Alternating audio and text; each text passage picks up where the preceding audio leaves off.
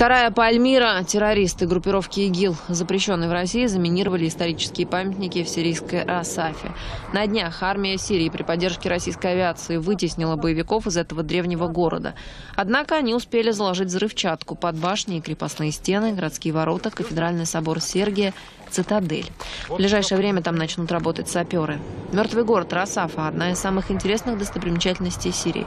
Находится на востоке страны, неподалеку от Раки. В древности город несколько раз менял название. Одно из них – Сергиополис, в честь христианских, христианского святого преподобного Сергия, который был жестоко убит во время гонений на христиан во времена римского императора Диоклетиана.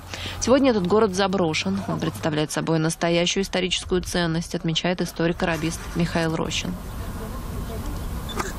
Там были гасаниды. Гасаниды это было такое племя арабское.